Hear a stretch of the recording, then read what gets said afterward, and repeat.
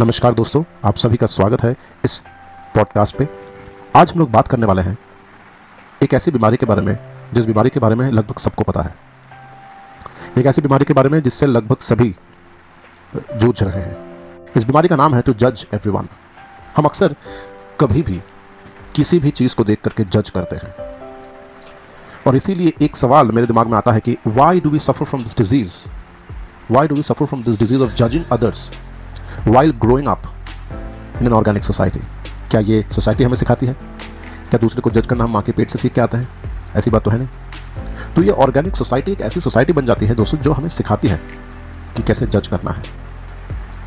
अब कई लोग कहेंगे कि नहीं, ये तो मेरा ओपिनियन था। किसी के बारे में कुछ भी सोच रही तो मेरा हक है, मेरा ओपिनियन था। दोस्तों, मैं आपसे बताना चाहता हूँ कि ओपिनियन हर एक चीज़ के बारे में होने के लिए एक चीज़ तो यह है कि एक level of information knowledge education चाहिए। लेकिन तर्क के लिए अगर मान भी लें कि हाँ ठीक है आपका ओपिनियन है तो ओपिनियन और जजमेंट में फ़र्क तो होता है दोस्तों। ओपिनियन होती है, हिंदी में इसको धारणा कहते हैं। मेरी धारणा यह है जजमेंट में तो आप फैसला सुनाते हैं। अब फैसला बिना सामने वाले का पक्ष जाने, सुनाया जा सकता है क्या? लेकिन हम बेधड़क फैसला लेते हैं। इस बीमारी से कई लोग खुलकर जी नहीं पाते, खुलकर बोल नहीं पाते। इस पूरे सिलसिले को मैं छोटे से कहानी के साथ आपसे शेयर करता हूँ। आज से तकरीबन कई साल पहले, तकरीबन 2008 में, जब मैं पहली बार एडमिशन मेरी हुई थी लखनऊ के लॉ कॉलेज में तो जब पहली बार मैं गया तो मेरे दिमाग में ये था कि लखनऊ के बारे में मेरी धारणा नहीं थी।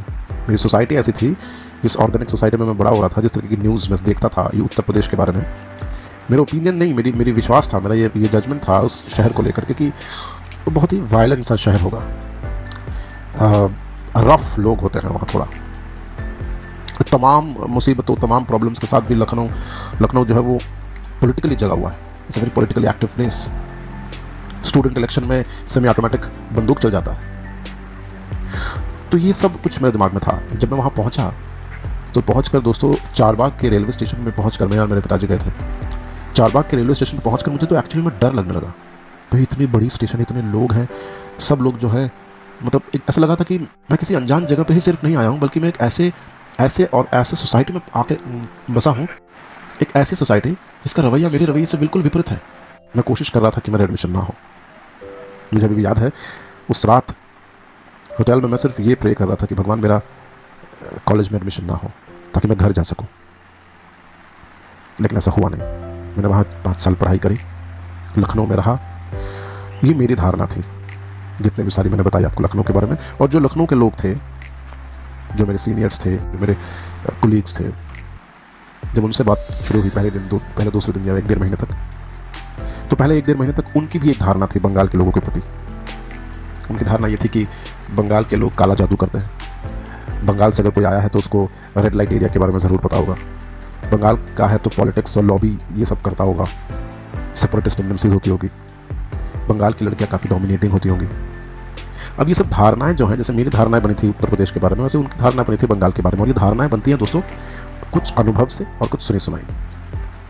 लेकिन पाँच साल बिताने के बाद, अब इन तमाम लोगों के बारे में जो मैं बात कर रहा हूँ, इनसे मेरी इतनी अच्छी दोस्ती है, इनसे मेरा इतना इतना लगाव है इनसे, कि पता ही नहीं चलता कि ये बंगाल और उत्तर प्रदेश की जो दूरियाँ हैं, ये वास्तव में है या नहीं। मेरे हिसाब से धारणा बदली जा सकती है। धारणा बदली जा सकती है क्योंकि क्योंकि धारणा जो बनती है दोस्तों, वो बनती है एक्सपीरियंसेस के ऊपर, अनुभव से और कुछ सुनी सुनाई। अब हर एक का एक्सपीरियंस तो एक जैसा नहीं होता है। और सुनी सुनाई बातों पर यकीन करनी नहीं चाहिए। तो मेरी धारणा थी उत्तर प्रदेश के बारे में कुछ, उनकी धारणा थी बंगाल के बारे में कुछ। लेकिन जब पाँच साल से ज़्यादा उत्तर प्रदेश में बिताने के बाद मैं ये ज़रूर कह सकता हूँ कि मैं इस शहर को मिस करता हूँ। लखनऊ को मिस करता हूँ। अपने दोस्तों को मिस करता हूँ। वो सारे दोस्त जो मेरे लिए कभी रफ हुआ करते थे। वो सारे सीनियर्स जो कहते थे कि मुझे काला जादू आता है, सबको मिस करते हैं। और ये जो बॉन्डिंग बनी है, ये जो इमोशनल बॉन्डिंग बनी है, ये मेरा अनुभव है। जजमेंट नहीं। तो इस छोटी सी कहानी के साथ मैं सिर्फ़ यही चीज़ बताने वाला हूँ कि बेशक आप अपना एक ओपिनियन बना सकते हैं, लेकिन फैसला मत सुनाइए। वहाँ जाइए, मिलिए, बात करिए, लोगों को सीखिए, समझिए। फैसला सुनाने का हक हमारा है ही नहीं, वो हमारा काम नहीं। तो ये एक नोट था मेरे जीवन का किस्सा जो मैं आपके साथ शेयर करना चाहता था। आई होप आपको ये पॉडकास्ट अच्छा लगा हो। अगर अच्छा लगा हो तो प्लीज़ इस चैनल को सब्सक्राइब करना मत भूलिएगा। Thank you